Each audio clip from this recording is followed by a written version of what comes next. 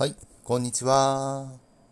えー相手はアタッカーがいて、えーカウンターがいて、えー挑発がいて、え回復役がいないですね。えこちらは星4、えー3チームで挑んでみます。ちょっと無謀ですけどね。まあ行きましょうか。行ってみましょうか。えーとりあえず八親父を召喚して、えークランパスを少しでも止めたいです。盤面に黄色は多め、黄色は多め。どうしましょうかね、どうしましょうかね？黄色ダイヤを作りましょう。ここは黄色ダイヤを作りましょう。こうして、こうして。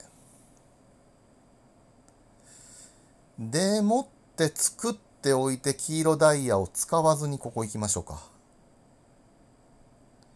八親父を使って、レディーウレートン悩ましいですけど、一旦温存して温存して、次は紫マナを貯めたい。えー、まあ、ちょっとここ行ってみましょうか。えー、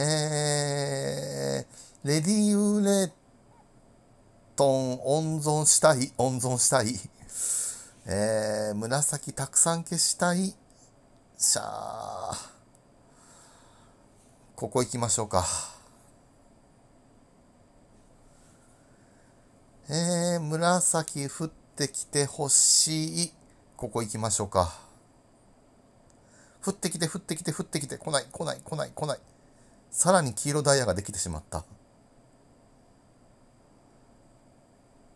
え、何この連鎖？相手がガンガンスキル発動してきつい、きつい、きつい、きつい。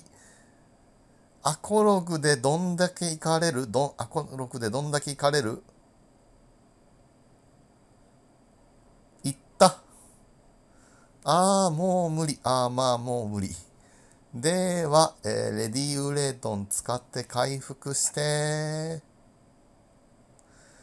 えー、それではとりあえずカウンター受けても構わない青を消して、あー、おー。この動画はありですかね？なしですかね？あー、ダメだ。